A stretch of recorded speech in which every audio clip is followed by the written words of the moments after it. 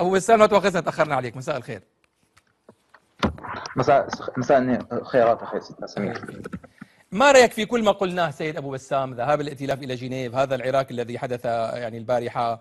ما راي الداخل السوري بكل ما يحدث بالمشهد السياسي داخل الائتلاف الوطني واروقه القرار العربي والعالمي؟ تفضل سيدي لك الهواء. أبو بسام. أستاذ سمير أريد فقط أن أوجه للمعارضة في الخارج ومن في الداخل أيضا. وكل من يهتم بالشأن السوري. فقط أن أن يتقوا الله بهذا الشعب. بهذا الشعب الذي أصبح يحاصر بلقمة عيشه وبالكهرباء وبالماء والمحروقات حتى يخضع. فقط فكروا بهذا الشعب. أنتم قاعدون في الخ... الأغلب في الخارج لا لا يهمه ما... ما يحدث في الداخل. فقط انظروا لما يحدث في الداخل. المدنيين لم يعدوا يتحملوا الأقصى من هذا. حان الوقت لنجد حلا لهذه المأساة الذي يخوضها الشعب السوري منذ ما يقارب ثلاث سنوات. إيه؟ نعم. طيب.